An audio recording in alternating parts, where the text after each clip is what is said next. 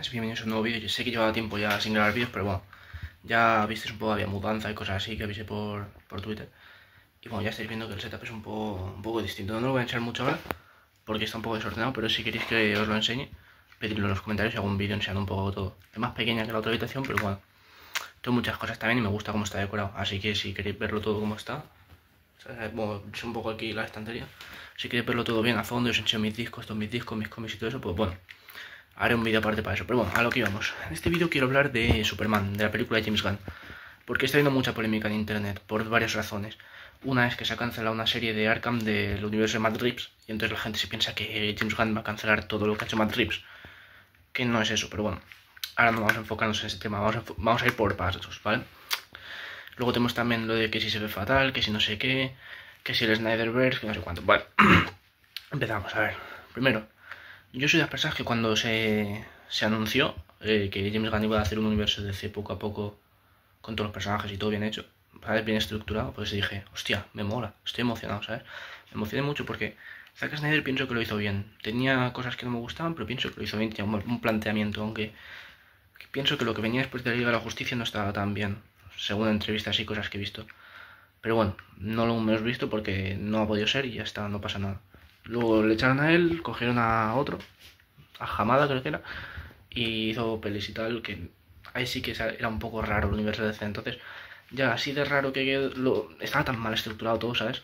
Que pues estaba en un reinicio James Gunn es un tío que tiene experiencia ya, que tiene pelis que se ven bien, que tiene buena historia, que hizo con de la Galaxia 3, que me parece una barbaridad de lo mejor del UCM, o sea, me encantó esa película.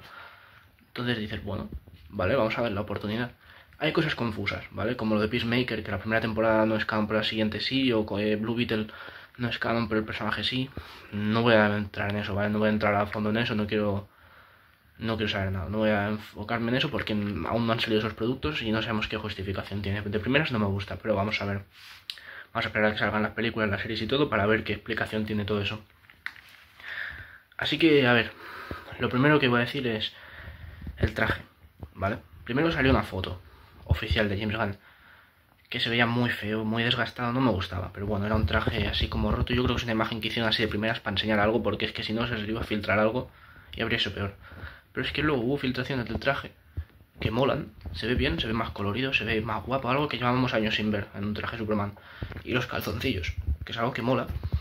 Y el traje Superman, pues a mí me gusta, o sea, también te digo, se ve un poco despegado, se ven pliegues, pero yo creo que tampoco está tan mal eso. muchos superhéroes tienen pliegues, Spiderman tiene, entonces no pasa nada. Luego, ya lo arreglarán en postproducción, ¿vale? Mucha gente dice, es que la postproducción no sé qué. A ver, la postproducción hace muchas maravillas, y no broma, muchas películas se ven fatal los trajes y todo. Y luego en la peli se ve genial. Y el Superman tiene pinta que va a ser uno así, aunque ya se ve bastante bien. Y Mr. Terrific también se ve bastante bien, pero luego How Girl y Wikander, creo que se dice. Mm, perdóname si no lo pronuncio bien sí que se ven un poco más feos, pero he visto teorías que dicen que son trajes corporativos porque son superhéroes comprados por Maxwell Lord y que Superman les va a inspirar y van a cambiarse el traje y a ser buenos héroes. Y se cambiarán el traje, claro. Y a uno más guapo. Si esa es la teoría y son trajes solo temporales, me parece bien. Si son para siempre, para todo el DCU, son muy feos. Eso sí que hay que admitirlo, son una puta mierda. ¿Vale? Por ejemplo, si algo, si algo decir de Snyder es que Snyder los trajes están muy guapos y muy bien hechos. Te gusten más o menos, están, se vean muy bien, tanto detrás como en cámaras, como en todo, ¿sabes? Y eso es un punto que hay que reconocerle. Pero bueno, vamos a esperar, a lo mejor luego James Gunn nos sorprende y, y dices, hostia, son los mismos que hicieron los trajes de Guardians de la Galaxia 3, creo los que van a hacerlos. A mí los de Guardians de la Galaxia 3 no me gustan mucho. Me gustan más el la 1 y la 2 los trajes, pero bueno, igualmente se ven bien Así que vamos a esperar a ver qué tal. Y en este vídeo no estoy para hablar de Guardias de la Galaxia, así que no voy a enfocarme mucho en eso. Luego, lo de, de, Batman. Aquí hay mucha especulación. Una de las teorías es que han eliminado la serie porque se va a ir al DCU el mismo Batman de Robert Pattinson, pero es algo que no, no creo posible, porque creo que, aparte que Matt Reeves no quiere, creo que James Gunn quería un Batman más comiquero y no tan realista, más, más fantasioso, por decirlo de alguna forma. Y ese no lo es. Podrían hacerlo, ¿eh? Pueden hacerlo, se puede hacer de todo en cualquier momento, pero no lo es. Y empezar con una peli de tres horas también puede ser duro para mucha gente, entonces va a ser una saga más aparte para quien la quiera ver. Con series spin-offs y todo eso, y todo lo que tú quieras. Pero bueno, que yo sí que la voy a ver, a mí me encantó de Batman, y el otro día en Twitter exageré, dije, si se cancela de Batman 2, ya no veo el universo de James Gunn. A ver, lo voy a ver igualmente, lo que ahora mismo me interesa mucho más de Batman, ¿por qué? Porque de Batman tenemos pruebas de que es una buena película. De lo de James Gunn aún no hay pruebas, o sea, hay cosas filtradas y ya poco más. No se ha visto mucha cosa, entonces vamos a esperar, ¿no? A ver qué tal.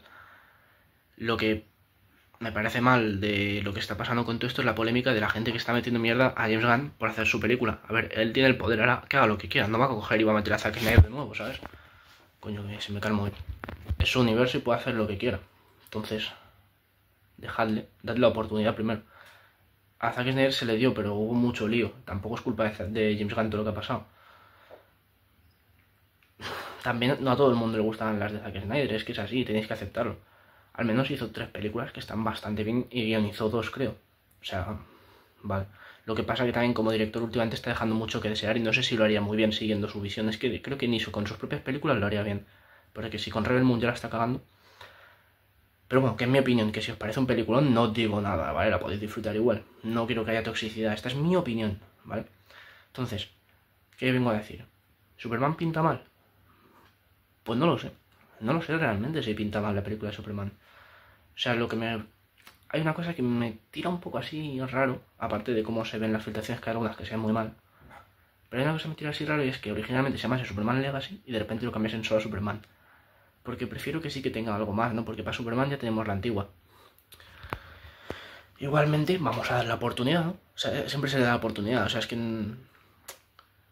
muchas películas pintan fatal y luego postproducción tal se ve genial. No digo que vaya a ser el caso, a lo mejor no lo es. Pero vamos a esperar. Vamos a esperar y a ver qué hacen. El cast está bastante bien escogido, yo creo.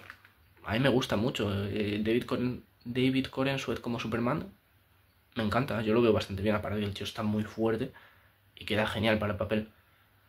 Y bueno, que el traje es que se ve muy guapo, en verdad. Hay escenas que hemos visto que así filtradas que se ven bastante bien. Una escena que sale él y se le acercan los niños y todo. Que está bastante bien. No sé, se ve bonito. Se ve como que Superman es un símbolo de esperanza. Vamos a ver, no queda mucho. Hemos visto alguna imagen del ex Luthor también. Vamos a ver. Otra cosa no puedo decir.